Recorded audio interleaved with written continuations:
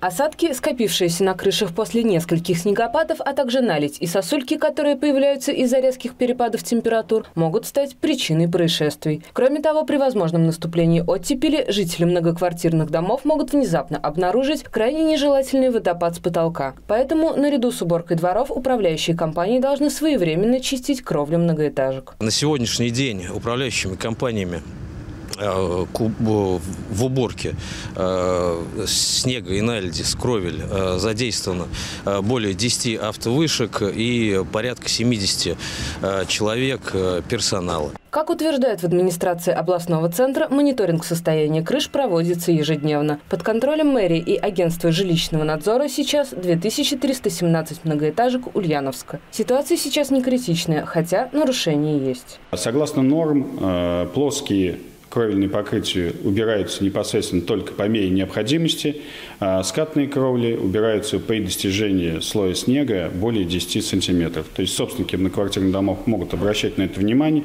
и также давать нам заявление для дальнейшей проверки. Оставить жалобу на отсутствие или плохое качество уборки крыши жители многоэтажек могут в приложении госуслуги.дом или обратившись в Агентство государственного строительного и жилищного надзора Ульяновской области. Юлия Руднева, Олег Тоньшин, Улправда ТВ.